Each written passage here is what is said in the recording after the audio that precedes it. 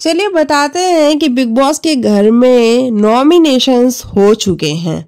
और नॉमिनेशंस में इस हफ़्ते नॉमिनेट कौन कौन हुआ है?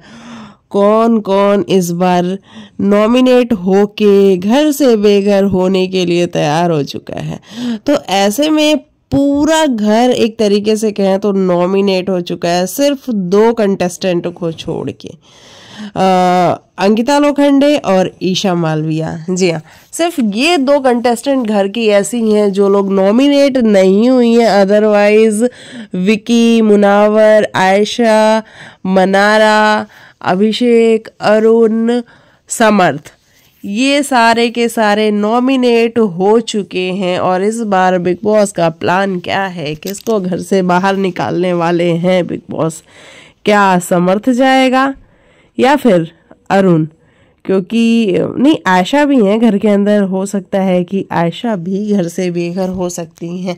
अब ये सब कुछ देखना बड़ा दिलचस्प होगा। मुझे लगता है कि इस टाइम पे अरुण अगर घर से जाए तो सही रहेगा। क्योंकि अरुण मुझे उतना इन्वॉल्व होता हुआ नहीं नज़र आता है गेम में। आयशा भी हो सकती हैं नीचे से अगर हम देखने जाएँ तो।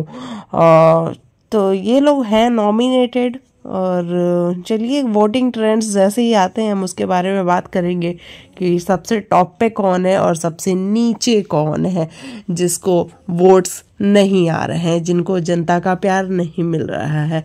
तो इस तरीके से नॉमिनेशंस हो चुके हैं। वो एपिसोड कल आपको देखने को मिल जाएँगे। चलिए, मिलते हैं नेक्स्ट वीडियो में।